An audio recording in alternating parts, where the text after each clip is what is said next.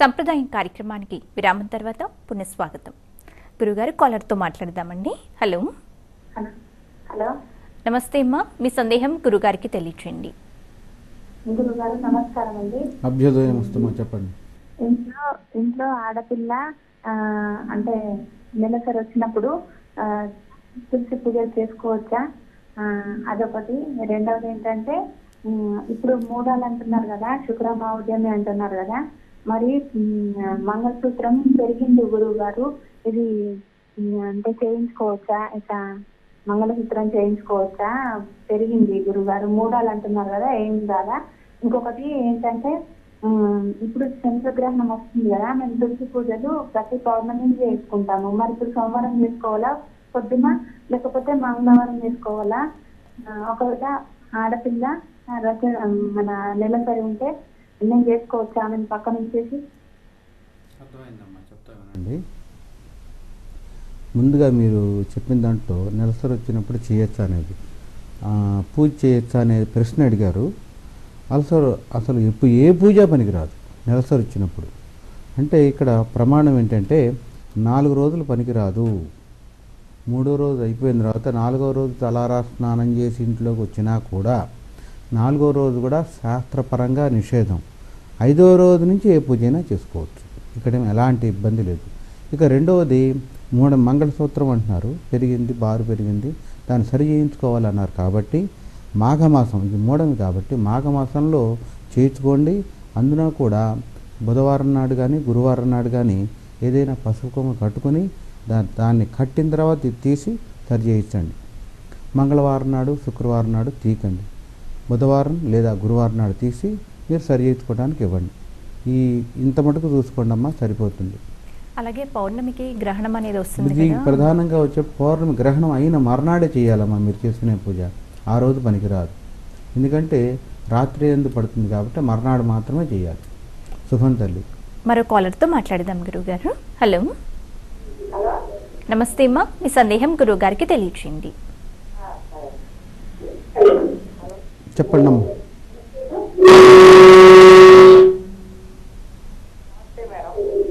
చెప్పండి. చెప్పండి మీ సందేహం ఏంటో తెలియచేయండి గురుగారికి గురువు గారు నేను తలస్నానం అంటే ఈ రోజు చేయలేకపోతున్నా. గురువు గారు మామూలుగా రోజు స్నానం చేసి తలస్నానం మామూలు స్నానం చేసి పూజ చేసుకోవచ్చా సార్? ప్రతిరోజు తలస్నానం చేయాలనే నియమం ఆ స్త్రీలకైతే లేదండి. మగవాళ్ళకు ఉంది కానీ స్త్రీలకైతే ప్రతిరోజు ప్రతిరోజు తలస్నానం చేయాలని నియమం లేదు. యథాశక్తి చేయమన్నాం. అంటే అవకాశం ఉన్నప్పుడు చేయండి. లేని పక్షంలో మార్జిన్ అంటాం. అంటే కనీసం నీళ్ళు కొంచెం చేతిలో తీసుకుని శిరస్సును దల్లుకోవడం దీన్ని మార్జిన్ అంటాం. అపవిత్ర పవిత్రోవా సర్వావస్థ అంగౌతోపి అనే మంత్రం చదువుతూ ఉంటాం. అదేం తెలియదు అనుకోండి నీళ్ళు తీసుకుని ఓం నమ శివాయని దల్లుకోండి మార్జన చేసుకుని మీ పూజ ప్రారంభించండి. ఇది స్నానానంతరం మరి అలంకారం చేసుకుని బొట్టు అది పెట్టుకుంటారు కాబట్టి తర్వాత నీళ్ళు తీసుకుని ఉద్ధరణితో మార్జన చేసుకుని అప్పుడు పూజ ప్రారంభించండి స్నాన నియమం ఏం లేదు. ఆ యథాశక్తి స్నానం చేయండి. మరో కాలర్తో మాట్లాడదాం గురుగారు. హలో. హలో. నమస్తే అమ్మా మీ సందేహం గురుగారికి తెలియచేయండి. నమస్తే గురుగారు. అభ్యుదయం వస్తామా చెప్పండి. జై గురువేశ్వర శ్రీ గురు. గురుగారు మంగళవారం గ్రహణం కదా గురుగారు వస్తువులు ఏ రోజు కాల్చుకోమంటారు గురుగారు? ఒకటి. ఇది వినండి అమ్మా. పొద్దున కాల్చుకోవాలనా? లేదు లేదమ్మా. తులసి చెట్లు ఆడవాళ్ళు తీసి వేరే చోట పెట్టచ్చా చుట్టుపక్కల మొలుస్తున్నాయి తులసి చెట్లు. అవి ఆడవాళ్ళు తీయాలా? లేకపోతే ఆడవాళ్ళు తీయద్దు అంటారు అవి మేము తీసి పక్కకు పెట్టుకోవచ్చా? వినండి ఇప్పుడు మీరు చెప్పిన దాంట్లో మొదటి ప్రశ్న. వచ్చేటప్పటికి ఏమి అడిగారమ్మా ఆ, గ్రహణము. గ్రహణానికి సంబంధించి మీరు చెప్పింది ఇది మర్నాడే చేయాలమ్మా. మీరు చేద్దాం అనుకుంటున్న పూజ కానీ ఏదైనా కూడా గ్రహణానంతరం మాత్రమే చెయ్యాలి. ఈ ఒత్తులకు సంబంధించి చేసేదైనా కూడా. పౌర్ణమి ఉంది కదా అన్నట్టు రాత్రులు కాకుండా గ్రహణానంతరం మాత్రమే చేయాలి. ఇక అంటే మరుసటి రోజు రాత్రి చేయొచ్చు. అక్కడేం దోషం లేదు. ఇక ఇదే సమయంలో తులసి మరి మొక్కలు ఎక్కువ వస్తున్నాయి అవి తీయాలి అనుకున్నప్పుడు మీ ఇంట్లో ఉన్న మగవారితో శుక్రవారం మంగళవారం కాకుండా తీసి మళ్ళీ పాతిచ్చండి. అంతేగాని తీసి పారేయకుండా మళ్ళీ ఇంకో చోట పాతే ఏర్పాటు చూసుకున్న తర్వాత ఇది తీయండి. ఆ రకంగా చేయడం ఎలాంటి ఇబ్బంది లేదు. మరీ ముఖ్యంగా ముఖ్యమైన మొక్కలు ఏవైనా ప్రధానమైన ఉసిరి కానీ తులసి కానీ మళ్ళీ ఇవి బతకాలి అనుకున్నప్పుడు మృగశిర నక్షత్రం రోజున అవి నాటండి. తీసి మళ్ళీ నాటితే అవి మళ్ళీ పోవటం అనేది జరగదు?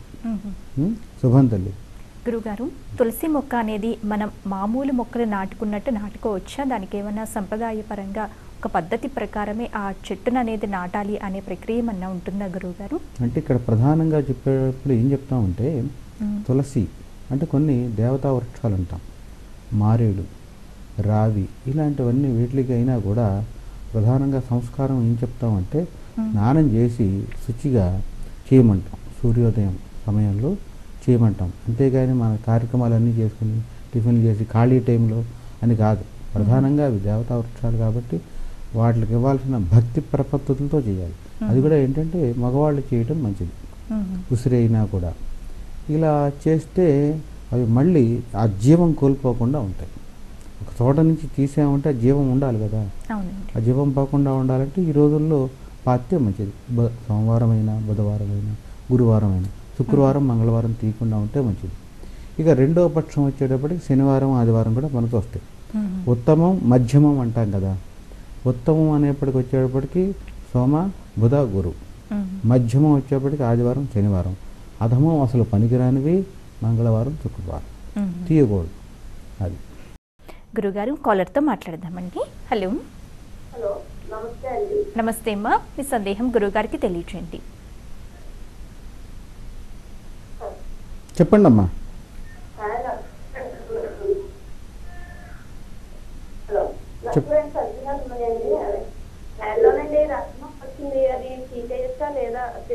లేదా? అనేది. అర్థం కాలేదమ్మా. రాగి మొక్క తీయచ్చా లేదా? ఎక్కడ మొలిచిందమ్మా అది? మేడ ఇంకా పళ్ళు అవ్వలేదండి. కట్టి మేడ ఉంది. పైన మెట్లు కూడా వచ్చిందండి. రావి మొక్క అసలు ఎక్కడ మొలిచినా పనికిరాదు. ప్రహరీ గోడ లోపల. అంటే ఇంటి ఆవరణ లోపల రావి మొక్క అనేది ఎప్పుడూ కూడా పనికిరాదు. తీసేసేయాలి. రావి మేడి ఇవి ఇళ్ళల్లో ఉండకూడదు. అంటే ప్రహరీ గోడ లోపల ఉండకూడదు. ఇళ్ళ లోపల అంటే అంటే ప్రహరీ గోడ లోపల అంటే ఇంకెక్కడా పనికిరాదు కదా. ఇంట్లో అవ్వచ్చు ఇంటి పైన అవ్వచ్చు ఎక్కడా పనికిరాదు. రావి మేడి ఇవన్నీ కూడా ఇంటి అంటే ప్రహరీ గోడ బయట మాత్రమే ఉండాలి. మరొక సందేహం అమ్మా అదేంటి మొగ్గలో మొక్కలో కొయ్యచ్చా అర్థం కాలేదమ్మా. మందార మొగ్గలు? కొయ్యకూడదని అంటున్నారు కదండి. ముందు మానేస్తాయండి ఉండవట్లేదండి. బయట వాళ్ళు వచ్చి కోసేస్తున్నారండి. మొగ్గలు కొయ్యొచ్చా లేదా అని లేదమ్మా అక్కడ కొయ్యకూడదని లేదు కానీ యథార్థంగా ఏంటంటే వికసించడానికి సిద్ధంగా ఉన్న మొక్కలు కొయ్యమంటాం. అంతే. అంటే ఇప్పుడు మొక్కగా ఉన్నది పెరగడానికి సమయం పడుతుంది కదా. కొంతమంది ఏం చెప్తామంటే దీంట్లో మొక్కగా ఉన్నది కోస్తే బదులు పుష్పం ఈశ్వరుడికి అర్పించాలని చేస్తాం అవునండి. ఇప్పుడు కూడా మందారం ఏంటంటే మొక్కగా ఉన్నది మర్నాడు ఉదయం మాత్రమే అది వికసిస్తుంది. ఇక వికసించడానికి సిద్ధంగా ఉన్నది కొయ్యమని చెప్తాం. కొయ్యొచ్చండి ఇబ్బంది ఏం లేదు. శుభం. మరో కాలర్తో మాట్లాడదాం గురుగారు హలో. హలో. నమస్తే అమ్మా. మీ సందేహం గురుగారికి తెలియచేయండి. నమస్కారం గురుగారు అభ్యుదయం వస్తు తల్లి చెప్పండి. గురుగారు తులసి చెట్లు ఇంట్లో రెండు మూడు ఉండవచ్చా? అలాగే తులసి చెట్టులో శివలింగం కూడా పెట్టవచ్చా లేదా? ఒకటి. ఇంకొకటి నేను ప్రెగ్నెంట్ ఇప్పుడు ఎనిమిదో నెల ప్రెగ్నెంట్. మంగళవారం గ్రహణం ఉంది కదా. అది ఆ- ఆ టైంలో ఎలాంటి స్తోత్రాలు చదవాలి? మళ్ళీ నెక్స్ట్ డే రోజు పూజ నేనే చేయవచ్చా? లేదంటే ఇంట్లో వాళ్ళు పెద్ద ఎవరైనా చెయ్యాలా అది ఒక క్వశ్చన్ అండి. ప్రధానంగా ఇక్కడ గ్రహణ సమయంలో గర్భవతిగా ఉన్నారంటున్నారు కాబట్టి అందున ఎట్టి పరిస్థితుల్లో కూడా గ్రహణ సమయంలో ఇది ఈ రాశికి యోగిస్తుంది ఈ రాశికి యోగించదు అనేది ఉండదు. గ్రహణ సమయంలో గర్భవతులు ఎవరు కూడా గ్రహణ సమయాన్ని గ్రహణాన్ని చూడకూడదు.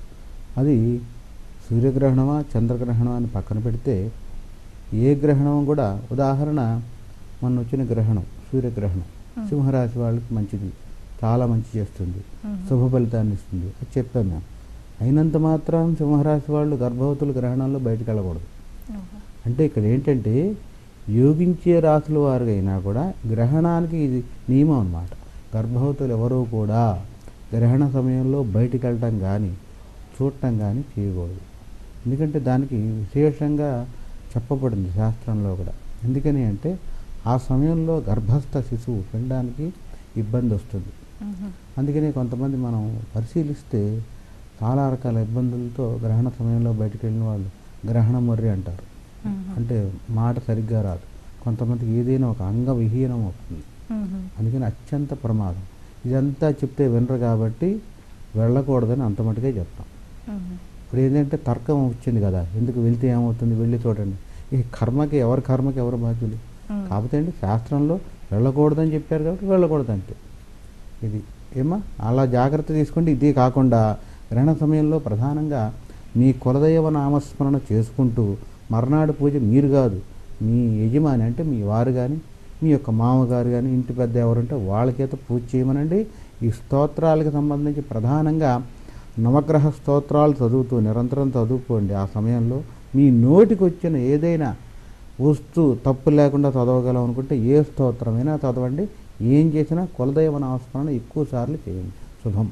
మరొక సందేహం కూడా అడిగారు గురుగారు. తులసి మొక్క ఇంటికి ముందుగా ఉండవచ్చా? అలాగే తులసి కోటలో శివలింగం పెట్టుకోవచ్చా అని కూడా అడిగారు తులసి మొక్క ఉండొచ్చు అమ్మా ఇంటి ఎదురుకుండానే ఉండొచ్చు. ఉండాలి కూడా. బయటికి వెళ్ళేప్పుడు చూసి నమస్కారం చేసి వెళ్ళాలి.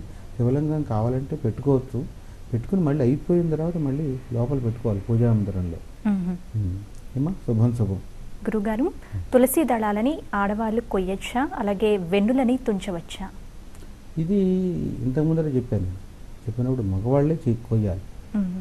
కోసి వెన్ను తుంచాలన్నా కూడా. ఈ బుధ సోమ బుధ గురువారాలు ఉత్తమం. వెన్ను తుంచేటప్పుడు కూడా. మంగళ శుక్రవారాలు చేయకూడదు. మగవాళ్ళు పోషిస్తే మరీ మంచిది. కాలర్ కూడా లైన్లో ఉన్నారు గురువుగారు హలో. హలో. నమస్తే అమ్మా. మీ సందేహం తెలియచేయండి. అలాగేనండి. నమస్తే గురుగారండి అభ్యుదయం వస్తమ్మా చెప్పండి.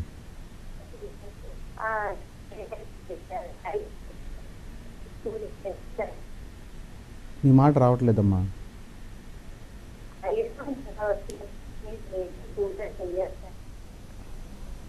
గురుగారు కాల్ కట్ అయిందండి. మరో కాలర్తో మాట్లాడదాం. హలో. హలో. నమస్తే అమ్మా. నమస్తే అండి. మీ సందేహం గురువుగారికి తెలియచేయండి ఓకే. చిన్న సందేహం గురుగారు. చెప్పండి అమ్మా ఇది మగవారు కూడా ఒక్క పొద్దుంటే పౌర్ణమి రోజు ఓసిలు వెలిగించుకోవాలని ఎవరైనా వెలిగించచ్చమ్మా. ఇక్కడ ఈ ఒత్తులు ఆడవాళ్ళే వెలిగించాలని లేదు సార్ అసలు యథార్థంగా చెప్పాలంటే ఈ దీపారాధన చేసేటప్పుడు కానీ ఇతరత్ర ఈ కార్యక్రమాలన్నీ ఆడవారికి సంబంధించింది అనుకుంటారు చాలామంది. అసలు రహస్యం ఏంటంటే దీపం వెలిగించిన ఈ మూడు వందల అరవై ఒత్తులు వెలిగించిన ఈ ఎప్పుడు ప్రతిరోజు చేసే దీపారాధన అయినా ఈ ఒత్తులు వెలిగించేదైనా యజమాని అంటే భర్త లేదా ఇంటి పెద్ద చేస్తే ఆ పుణ్యం అందరికీ వస్తుంది. ఆడవాళ్ళు చేస్తే ఆడవాళ్ళ వరకే వస్తుంది. ఆడవాళ్ళకి పిల్లలకి. అంటే కింద నుంచి పైకి వెళ్ళదు. చేసే కార్యక్రమంలో ఫలితం పైనుంచి కిందకు వస్తుంది. అంటే పెద్ద ఇంటి యజమాని చేశారనుకోండి వాళ్ళ పిల్లలకి కోడళ్ళు కొడుకులు మనవాళ్ళ వరకు వెళ్తుంది. ఉదాహరణ కొడుకు చేశాడు అనుకోండి తండ్రికి రాదు. ఎవరికి వస్తుంది? వారి యొక్క శ్రీమతి భార్యకి పిల్లలకి వెళ్తుంది. అదే భార్య చేసింది అనుకోండి వాళ్ళ పిల్లలకి వెళ్తుంది భర్తకి వెళ్ళదు. దీన్ని బట్టి గ్రహించండి శాస్త్రంలో ఏ పూజ చేసినా ఏ దీపారాధన చేసినా ఏ కర్తువు చేసినా ఇంత మటుకే. అంటే ఫలితం ఆ రకంగా అందరికీ పంచబడుతుంది. ఇక పెద్దవాళ్ళు చేస్తే అందరికీ వస్తుంది. ఇది ప్రమాణం అమ్మ. ఏదేమైనా మంచిదే. ఒక పొద్దున్న లేదంటే ఏదైనా ఇలా చేసేటప్పుడు ఇద్దరు వెలిగించండి కలిసి. అది చాలా మంచిది కదా పుణ్యం కూడా. వెలిగించి అదే సమయంలో అవకాశం ఉన్నంతలో దానం చేయండి. కార్తీక మాసంలో దానానికి మించిన పుణ్యం లేదు. ఏ దానమైనా చేయొచ్చు. చివరికి ఏం చెప్పారు? ఖరీదేం లేదుగా కొనక్కర్లేదుగా. ఉదక కుంభం దానం కూడా ఇవ్వమన్నారు. ఉదక కుంభం అంటే మంచి నీటిని పాత్రలో రాగిదా ఇత్తడిదా మట్టి పాత్రలో అయినా ఇవ్వచ్చు అంత విశేషం చెప్పారంటే దానానికి ఇప్పుడు దాంట్లో ఏం కొనాలమ్మా? డబ్బులు ఏం అవసరం లేదు. దక్షిణగా ఏదైనా ఎంతో కొంత పెట్టి ఇవ్వచ్చు చివరికి అమలక దానం అని అంటే ఉసిరి. అంటే ఇక్కడ అత్యంత ప్రీతికరమైంది కదా అమ్మవారికి. అందుకని కనకదార స్తోత్రం చదివితే శంకరాచార్యుల వారు మరి ఆ ఇంట లక్ష్మీదేవి కనకవర్షం కురిపించలా అంటే అమలక దానం దాని మీద ఆవు నెయ్యి వేసి దీపం వెలిగించి ఆ అమలక దానం అంటే ఉసిరికాయతో సహా దక్షిణ పెట్టి దానం ఇచ్చింది. దానం అంటే ఎప్పుడు దక్షిణ వస్తుందండి. దక్షిణ లేకుండా ఇవ్వకూడదు. ఆ దక్షిణ ఏంటంటే కొంతమంది ఈ దానికి యథార్థంగా ఇంత అని ప్రమాణం ఏం లేదు. ఎంతైనా పెట్టి ఇవ్వచ్చు ఉమ్, అది మన యథాశక్తి మన మన. ఇక ఇక్కడ వచ్చేటప్పుడు దానాల్లో సాలగ్రామ దానం ఉంది. కార్తీక మాసంలో దానంలో ఒకటని లేదమ్మా. ఏదైనా వస్త్ర రజిత సువర్ణ మరి సాలగ్రామ. సాలగ్రామ దానం కూడా ఉంది. ఇట్లా ఏదైనా దానం ఇవ్వచ్చు స్ఫటికలింగ దానం. ఇలా అంటే ఏ దానం చేసినా ఆవు నెయ్యి దానం. విశేషం అనమాట ఇది. ఆవు నెయ్యి అనంత పితృదేవతలు ధరిస్తారు. ఆవు నెయ్యి ఒక కేజీని ఏదో తీసుకుని అదైనా దానం ఇవ్వచ్చు ఇట్లా ఏదైనా ప్రదోష కాలంలో మొదలుపెట్టి చేస్తే చిత్తం. ఎందుకంటే ఈశ్వరుడికి ప్రీతి ఆ సమయమే కదా. అలాగే గురుగారు కాలర్ కూడా లైన్లో ఉన్నారండి. హలో. హలో. Hello madam. నమస్తే అండి. మీ సందేహం గురుగారికి తెలియచండి. ఆ, నమస్తే గురువు గారు చెప్పండి. గురుగారు మా ఇల్లు కాకుండా పక్కన ఒక ఇల్లు కట్టాం సార్ ఎవరైనా బంధువులు వస్తే పనుకోవడానికి అది ఇబ్బందిగా ఉందని. అప్పుడు గృహప్రవేశం అన్ని చేశాం సార్ ఒక సంవత్సరం అయింది. ఇక మేము దీపారాధన కానీ దాంట్లో వంట కార్యక్రమం టెంట్ ఏమి లేదు సార్ Hmm. ఎవరైనా వచ్చినప్పుడు రెస్ట్ తీసుకుంటారు నాలుగు రోజులు ఉండి మళ్ళీ తాళం వేస్తున్నాం సార్. ఇటీవల దీపారాధన ఉండాలని ఎవరు అంటే ఆ సందేహం గురువు గారిని అడుగుతామని నివాసయోగ్యము అంటే నివాసం ఉండే గృహంలో దీపారాధన అండి. నివాసం ఉండని దానికి లేదు. ఎవరైనా వస్తే ఇచ్చే అతిథి గృహంలాగా అన్నారు మీరే. దానికి ఎక్కడ నియమం లేదు. నివాసం ఉంటున్నాం అనుకోండి ప్రతిరోజు దాంట్లోనే ఉంటుంటే మనం ఎక్కడ నివాసం ఉంటామో అది మన సొంత ఇల్లా అద్దె ఇల్లా అనే దాంతో ఎక్కడ ప్రమేయం లేదు. మనం నివాసం ఉండే ప్రాంతంలో దీపం వెలుగుతామన్నారు అక్కడ మీరు నివాసం ఉండట్లేదు. అతి అతిథి గృహంలాగా కట్టుకున్నారు. ఎవరైనా వస్తే బంధువులు కానీ స్నేహితులు కానీ ఇవ్వటానికి. అందుకని అక్కడ దీపారాధన నియమం ఏం లేదు. చేయగలిగితే చేయండి. చేయలేనంత మాత్రాన దోషం అయితే మీకు రాదు. శుభం. మరో కాలర్తో మాట్లాడదాం గురుగారు హలో. హలో. నమస్తే అండి. నమస్తే అండి. మీ సందేహం గురుగారికి తెలియచేయండి అమ్మా నమస్తే గురువు గారు అభ్యుదయం వస్తమ్మా చెప్పండి. అది మా- మా కోడలు అంటే మా బావ కోడలు ఆ, కొడుకు పుట్టాడు. అయితే మేము ఎన్ని రోజులు పూజ చేయకూడదు ఒకటి. మళ్ళీ మూడు వందల అరవై ఐదు ఒత్తులు వెలిగిస్తాం కదా. Hmm. అది ఇంట్లో మేము నలుగురం ఉన్నాము. ఇద్దరు పిల్లలు మేమిద్దరము నలుగురికి ఒక్కొక్కటి మూడు వందల అరవై ఐదు నలుగురికి కలిపి మూడు వందల అరవై ఐదు పెట్టుకోవాలా? ఉసిరి దీపాలు కాడ పైకి ఉండాలా? లేకపోతే ఇంకొకటి కిందికి ఉండాలి అది అంటే దీపం ఏ కాడ వైపు పెట్టాలా? లేకపోతే ఏ వైపు పెట్టాలి అనేది సందేహం. ఈ మూడు. మొదటిది వినండి. జాతా శౌచం గురించి అడిగారు మీరు. జాతా శౌచం మృతా శౌచం అని రెండు శౌచాలు వస్తాయి. అశౌచాల్లో. ఈ జాతా అశౌచంలో ప్రధానంగా ఎవరైనా మన ఇంటి పేరు గల వాళ్ళకి ఎవరైనా శిశువు పుడితే అది ఆడవచ్చు మగవచ్చు. దాన్ని జాతా శౌచం అంటాం. అంటే ఇక్కడ పది రోజుల పాటు వర్తిస్తుంది. పదకొండో రోజు శుద్ధి అవుతుంది.